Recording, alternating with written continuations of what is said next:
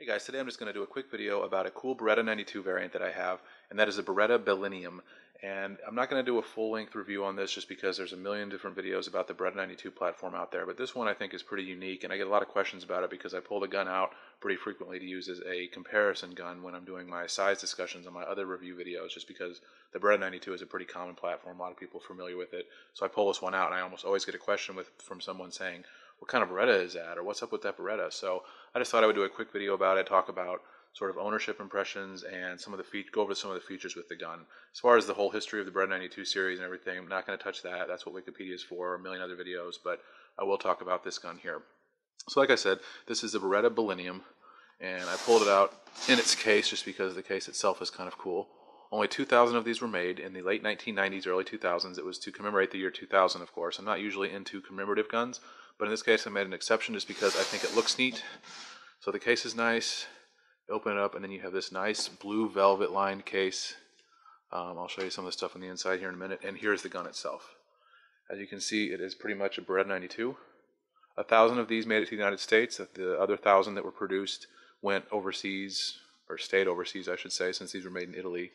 You know, they went to European markets and other places. So there are a thousand of them in the United States, so that makes them pretty rare and that's why you don't really see too many of them. There's a lot of desirable features on this gun, though, which is part of the reason why I liked it.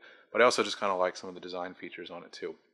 So while I've got it open, I'll show you the case, too, just because that's kind of interesting. You get two magazines. These are 10 rounders because, like I said, the gun came out in the late 90s, which was during the assault weapons ban in the United States, so you couldn't get the normal 15 rounders. Keep one of these out for later. And then the top half of the case is real nice also. It's got this um, this logo here, which is kind of cool. It's sort of a looks like a cave drawing almost. It's very tribal looking, and then the really techno looking font there, which is what I kind of like. It makes the gun look very futuristic and matrixy or something. In this flap here, you get a nice uh, manual, very extensive manual, different languages, all that stuff, and then the warranty card. Honestly, I've never even opened this, but it's just generic stuff, you know. But that's what comes with the gun. And then this is a little cleaning kit. So some kind of nice stuff in the case, and the case itself is actually built pretty well too, and I like the, uh, the blue velvet that's on the inside. So moving back to the gun, when you first look at the gun, you might just assume that it's a stainless Beretta 92, but it is not actually. This is carbon steel, and it has a unique nickel alloy plating on it. And you can kind of see it there. It's just not really a, a pure stainless color.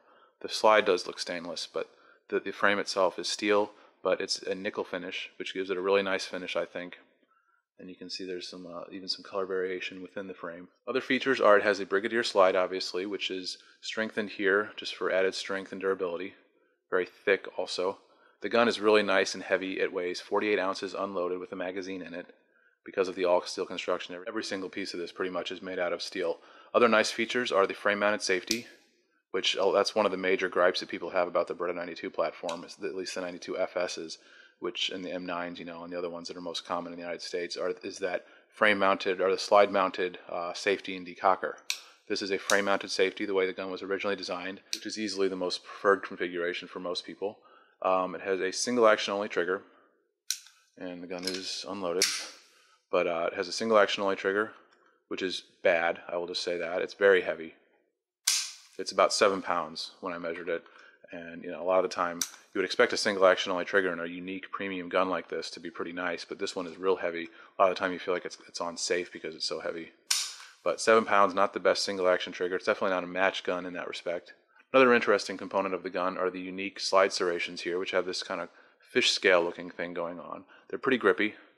They actually, it's actually pretty decently designed. Uh, it's kind of maybe not my taste exactly, and I'm not sure it really meshes with the rest of the gun's design. It's because, uh, like I said, it does remind me of sort of like a fish scale but it's very nicely done. Um, but I'm not really sure it really flows with the the sort of techno look that the rest of the gun has going on. And if you can see it there, you know this sort of pattern there, just has sort of a sci-fi look to me, despite the caveman drawing. But um, and that that same pattern is repeated here on the magazine release, which is reversible. You can flip it over to the other side if you want. The grips are made out of carbon fiber, and they have this nice soft touch inlay going on in the center here which has a really pleasant feel in the hand, I think, and it kind of just keeps it from being too slick, I think. You can see this one's a little dinged up. And apparently these grip panels also, if you shoot the gun a lot, can start to warp and bend. Uh, I haven't shot this one a ton, probably just maybe a couple, 300 rounds, something like that. It does shoot pretty well, but one of my biggest complaints about the gun really is that with this frame mounted safety and the design of the slide, if you have a nice high up grip, which is what I tend to have, this uh, cutout here on the slide, it just completely obliterates the skin on my thumb here. And like literally the first time I shot this gun, I had a, a nice high grip and I just wasn't thinking about it. And this slide goes back and it just tears up because it's sharp there. And I had a giant cut on my thumb right there. Kind of ruined the day for shooting, unfortunately. Um, so that's one of my problems with the sh with shooting it. The other thing is just that, like other Beretta 92s, this barrel is not uh, locked to the frame very well, or to the slide rather. You can see that it kind of wiggles in there. And that minute variance can really throw off accuracy at distance. And that's common to most Beretta 92s. You know, if you want to get absolute bullseye accuracy out to 50 yards, you pretty much have to modify the gun to keep that from wiggling like that. But you know, at normal combat distances, it is an accurate gun. I've always liked the Beretta 92 platform. I shoot them really well, and I do shoot this one well too. But for, as far as bullseye accuracy, this is not a match bullseye gun. Trigger's too bad.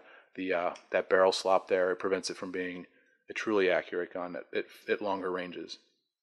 Of course, being 48 ounces, it's also very pleasant to shoot if as long as you're not tearing your thumb up with that slide. It's real heavy, soaks up the recoil very nicely. The grip checkering is extremely aggressive, almost too aggressive, you might say. Um, it really does grab onto your hand well, though. Uh, it doesn't really tear my hand up over time, but I could see someone who's sensitive to that sort of thing. I mean, one of my favorite guns is the USP, and a lot of people complain about those grip serrations or the grip checkering as being too harsh, and I think this would be this is even harsher than that. But it's very finely done. These aren't dinged up. This is just that's just stuff that gets caught in all these little uh, checkers here. But the overall finishing of the gun is actually very nice. It's it's very smooth, no burrs or anything like that. Build quality is good. When you pick the gun up, that, that weight and the build quality are really apparent, I think. And this is really a nicely put together gun by Beretta. Takedown is just like a normal 92, and I'll show you that real fast just so, because people probably want to see what the insides of this thing looks like. So push the button on the other side, flip that down, and the slide comes off. There you can see what's going on on the inside there. Again, it's not stainless. It's a nickel car nickel coated carbon steel. The sight on this one, by the way, has been replaced. This it doesn't normally come with this adjustable sight, but I do have the original sight with it. But this one is a, an aftermarket adjustable sight. The barrel is pretty cool looking. It's nice and thick. You know, nice components on the inside, all steel everything.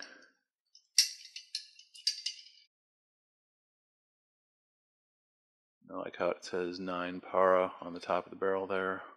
And it goes back together just like a regular 92 of course.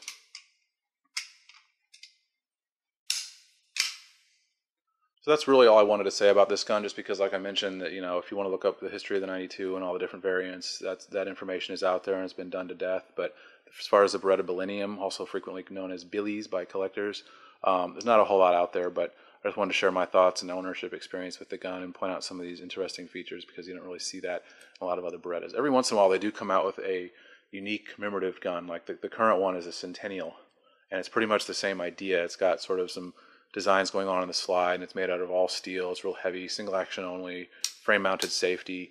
But these are really more designed as collector's pieces. Uh, as shooting guns, they're not really the greatest just because that heavy trigger, um, and, and I can't really do that high up grip like I like to have. So for something like that, you know, you'd probably be better off looking at something like a Beretta Combat or even just a regular 92 and having someone fix it up for you.